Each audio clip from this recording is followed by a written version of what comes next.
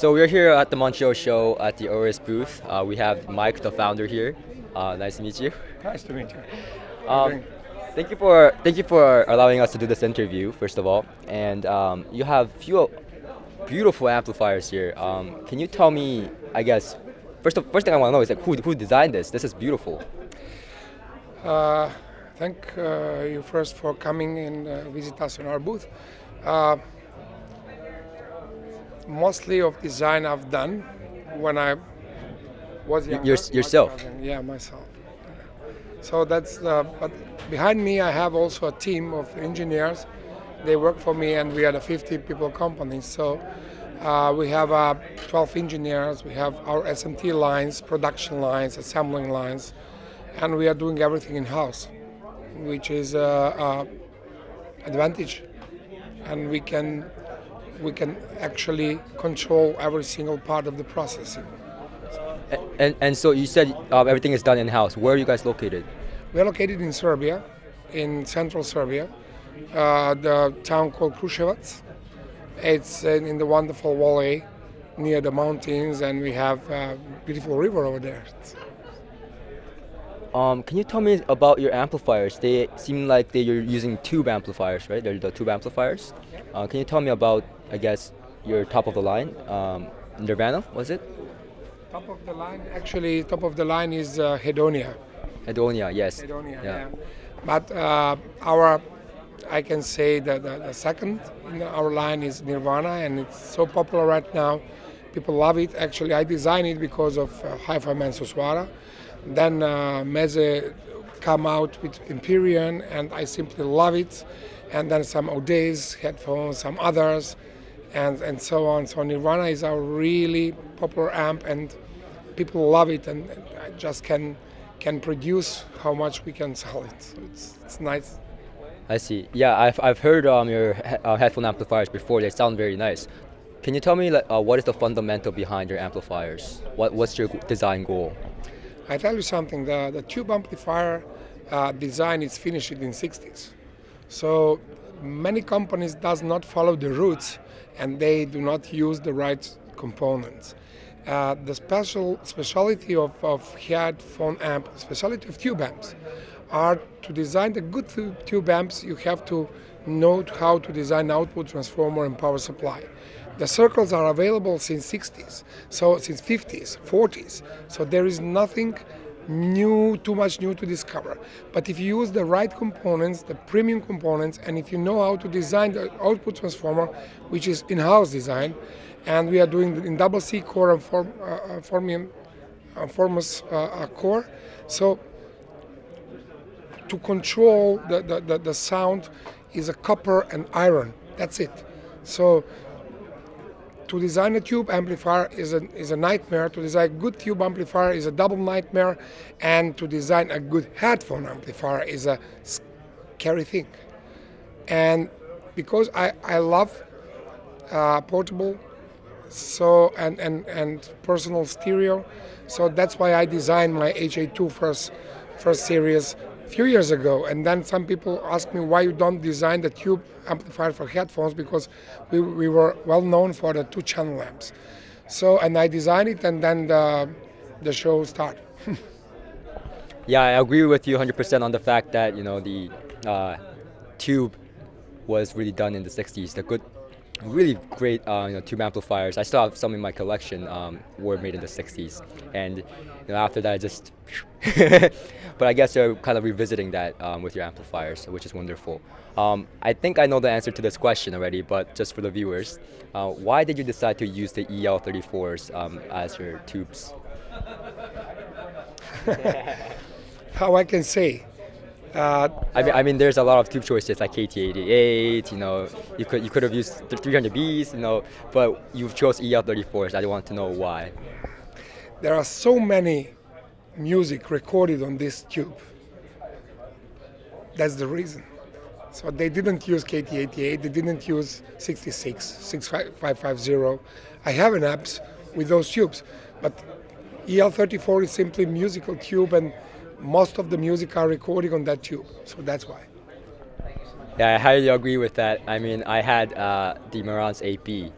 Wow. EL34s. One of the most musical amplifiers I've ever had in my stereo system. So I have to agree with that. And your amplifier is just beautiful, beautiful. And I guess the bottom is the power supply as well. And you mentioned the power supply is always always important as well.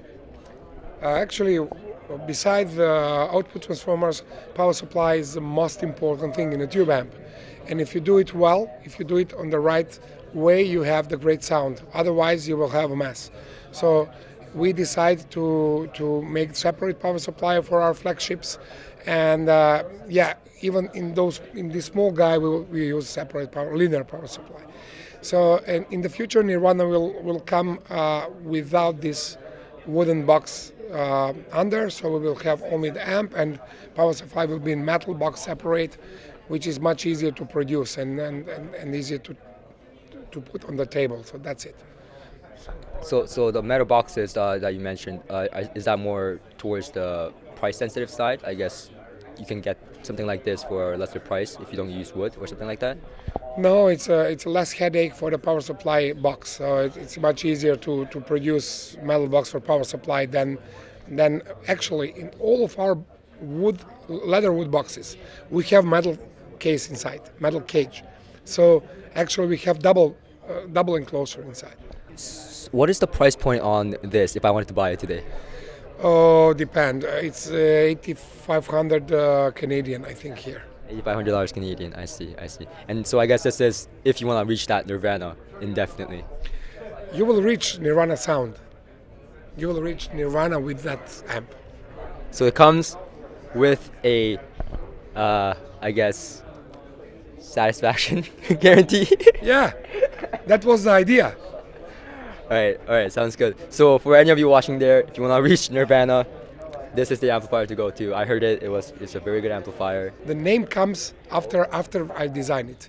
So actually, one of uh, our employees, uh, when when he tested, it, he told me it's Nirvana sound, and I just put the name Nirvana because I like it, and it's it, it really uh, shows you how it sounds.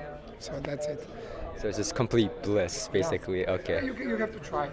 Yes. Try it. Yes. Come on the shows. We will, we will participate AXPONA, Rocky Mountains in North America, and we are going on CanJams all around the world, in Singapore, everywhere. So and beside of Nirvana, which is really great amp, we have uh, some requests from from uh, from our our uh, customers that they need something they can place on the table and uh, have one stop buy, the, the game over thing. So uh, we decide to design this beauty. It's a pure tube amp. We call it Euterpe. Euterpe in, in Greece means uh, one of nine muses. Muse for the music and delight. And uh, if you see, this shape is like the Greek harp. So uh, it's a pure tube amp based on EL95, same as our HA2SE. We have DAC inside, XMOS and ESS Sabre, uh, 32 bits, DSD, whatever, and we have preamp function. So it, this is stand 2, so it's uh, everything you need over there. It can run almost all headphones in the world. It's a vat of uh, pure A class A in tubes. Class A in tubes. Okay. So what's the damage on that? Mm, there is no damage. what's the price point? Price point is uh, 1700 uh, US dollars. A fair price. A fair price. Yeah. Um, so I guess that's a new that's a new product, correct? Yeah, that's a new product, and we already have the waiting list, and uh, we we do a pre-sale. Um, for a, for a, something more than 2000 Canadian, you can have DAC preamp, amp, and a stand in the same box. So very good sound. I, I really like it. You can you can you can drive HiFiMAN easily, with the exception of Susvara, of course, and all the other uh, headphones.